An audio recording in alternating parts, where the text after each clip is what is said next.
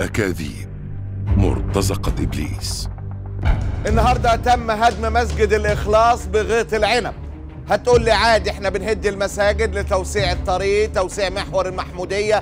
المهم نيتنا إيه يا سيد؟ كل شوية مسجد عمال يتهد. شيل بالجرار وكمان مسجد شيل. ولا هيتعمل طريق ولا حاجة. مبني على أرض مخالفة. أيوه ده بيت ربنا. وجعلت لي الأرض مسجدا وطهورا. حديث وجعلت لي الأرض مسجدا وترابها طهورا. انت فاهم منه إنه معناه إن أنا أروح في أي مكان وفي أي حتة أبني جامع وخلاص لأنه جامع لربنا سبحانه وتعالى. هل يقبل الله عز وجل مسجدا بني على أرض مسروقة أو مغتصبة؟ ما ينفعش ابدا. أنت عارف معنى الحديث إيه؟ معناه إنه الأرض أصلي في أي حتة. جعلت لي الأرض مسجدا ففي أي مكان أصلي. وترابها طهورا يعني أتطهر بالتراب في حالة انعدام القدرة على الوضوء.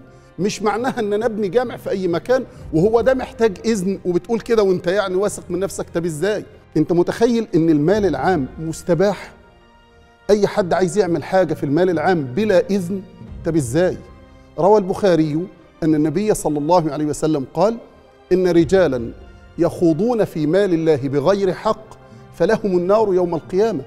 وأجمع العلماء على تحريم الاعتداء على المال العام. المال العام ده آه، مصون ومحصن.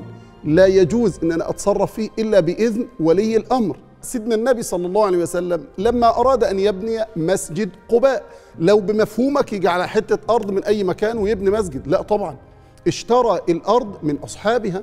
لما أراد إنه يبني مسجد المدينة ما وصل إلى المدينة أراد أن يشتري الأرض لولا أن أقسم أصحابها يمينا مغلظا أنهم لا يطلبون ثمنها إلا من الله وحده.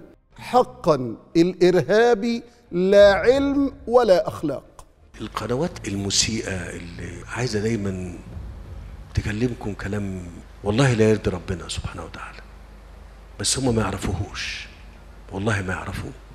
ويقول لك بيهدوا الجوامع بتاعت ربنا شوف المصريين. إحنا؟ استغفر الله. يا رب تبقوا زينا. يا رب تبقوا زينا في إن أنتوا تعملوا حساب ربنا. أنتوا بتخربوا الشعوب وبتدمروها وبتدمروا الأمم وتضيعوها. جايين تتكلموا علينا اللي إحنا بنبني ونعمر. هو ده المنظر اللي كان موجود اللي كنت كنا بنتعاير بيه قبل كده يقول لك شوف المصريين شوف شكلهم عاملين إزاي شوف فقرهم عاملين إزاي. أنا بكلمكم ب... وإحنا بنفتتح وسعدة البحيرة فيها سبعة وسبعين جامع مخالف على ال... على حرم ال... حرم الترعة على حرم الترع. هو اللي عايز يبني حاجة لربنا. يهادي ربنا ويعمل له بيت.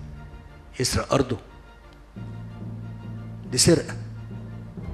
وبالرغم من كده إن شاء الله هنشيل وهنعمل مكانها حصن نفسك.